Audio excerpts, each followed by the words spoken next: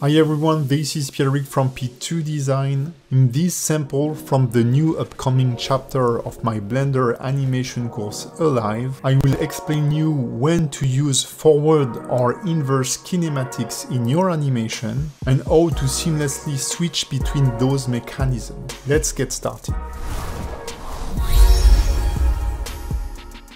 During the blocking stage, I've switched between inverse kinematic and forward kinematic quite a few times. We've experienced it's pretty obvious when to switch. These rules might not be carved into stone, they should help you figuring out when and how to switch. Let's first compare both mechanisms. Forward kinematics is the most obvious mechanism. We can consider the forward kinematic as being a chain with a root and a tip. The previous bone in the hierarchy will influence the next bone in the hierarchy till the tip of the chain. It's the perfect mechanism to create great arcs, and it generally offers the animator the best control over his character's shape, making it the perfect fit whenever you are rigging or animating a tail. It's personally my go-to whenever I'm animating character arms. The benefit of forward kinematic is also its weakness. Since the behavior of a controller depends on the behavior of all the previous controllers, it can be super tricky to deal with the position of a specific controller in space. For example here, I have a hard time matching the pose where the character will have his hand on his hips in a relaxed pose. Basically, as soon as you are contacting with the feet or the hands, you may want to switch to inverse kinematics. Here I'm trying to pose my character doing push-ups, but the arms are in forward kinematics, therefore they are following their hierarchy. The torso moves, so the shoulder moves, so does the arms, so does the forearms, and it's almost impossible to keep track of the hands and keep them on the ground. While if I now switch to inverse kinematic, the hand of my character will stay in position, and it really facilitates this kind of animation or this kind of posing. The inverse kinematics mechanism is built to calculate the rotation and orientation of each joint in a chain based on the transform of the initial joint, but most importantly, on the transform of the final joint. In this case, the hand of the character. That's why most of the time legs are using inverse kinematics controllers. This way, when animating a walk cycle, you can do most of the heavy lifting focusing on the foot motion. On a landing animation, once you figured out the contacting point for the feet, you just have to focus on the root of your character and the upper torso.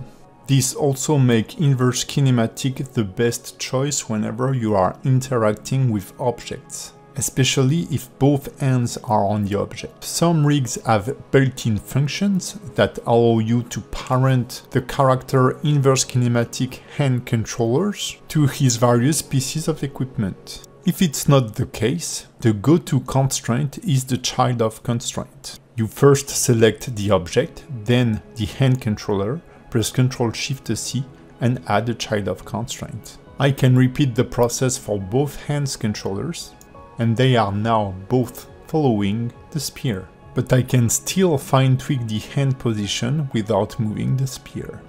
This makes both animating and posing double-handed equipment way easier. Once you're done with your animation and you want to get rid of the constraint, you can select both inverse kinematic controllers and simply search for bake, bake the action and get rid of the constraint in the baking option. Blender will write a new key per frame recording the motion of the previously constraint hands. But the constraint will be removed. If you haven't polished your animation yet, you may want to keep the constraint. The cool thing is that you can insert a keyframe on the influence of the constraint and when you want to switch it off, just set the influence to zero. A very important thing is to switch between the 1 value and 0 value of the influence over one frame. This to avoid any interpolation, but we'll see that later on. You can use exactly the same technique on any kind of props. With my hand inverse kinematic control selected, I will add a child of constraint and source a sphere. I can then repeat the process for the second hand, or I can select the second hand then select the first constraint end and use the copy to select operation in the constraint panel. Both ends are now following the motion of the sphere.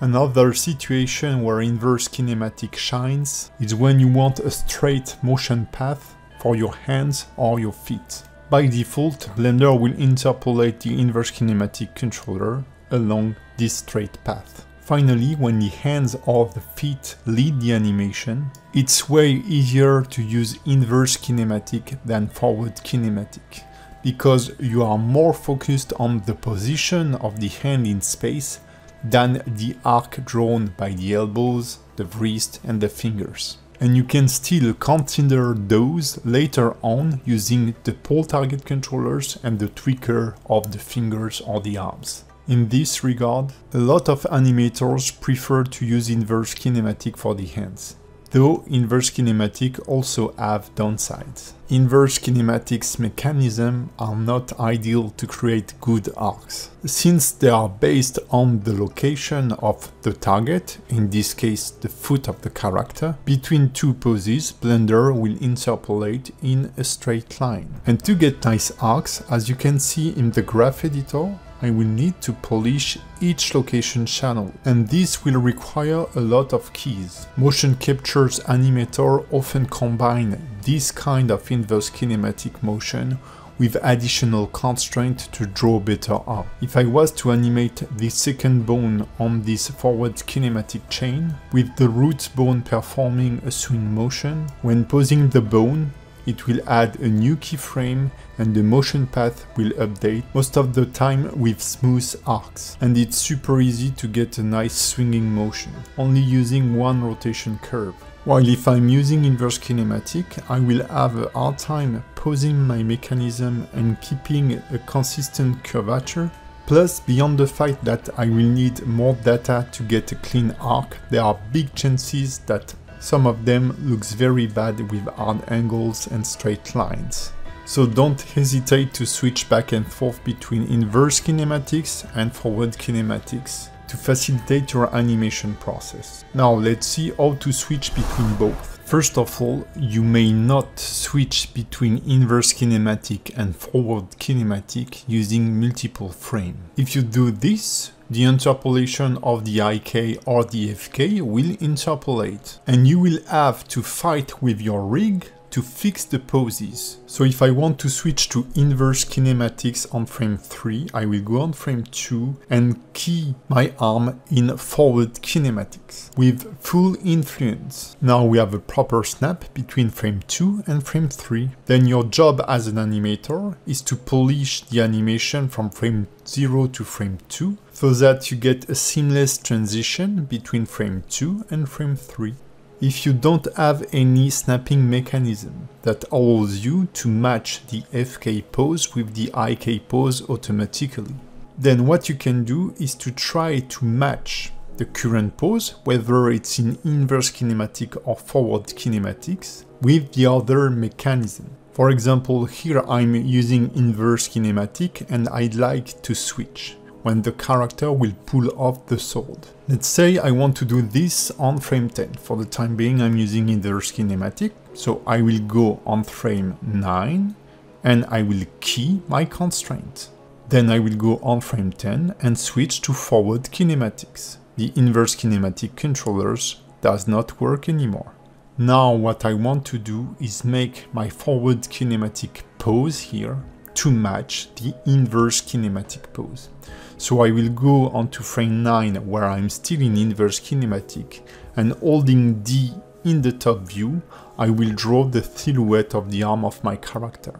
Then switch to front view and do the same. From there, I will play with my forward kinematic controllers on frame 10 and I will try to match the pose. you don't need it to be perfect, because later on this is going to be a transition pose, where the character starts to move the arm. If he's not moving the arm, or if you want the hand to stay still, keep it in inverse kinematics. And as soon as you start moving the arm, switch. This will also give you better result whenever you are baking your animation or exporting it for your game engine. This is how I did it for my character intro animation. Here I'm in FK and on the next frame I will be in inverse kinematic. During the polishing stage I made sure that I had a nice arc on the wrist. And this way I get a seamless transition. From this point I was in inverse kinematic until there, where I'm switching to forward kinematic just here, again focusing on the spacing of the wrist, and I'm transitioning a final time at the very end of the animation, when the character is lifting the spear, just there, and I've used the same method throughout the whole animation.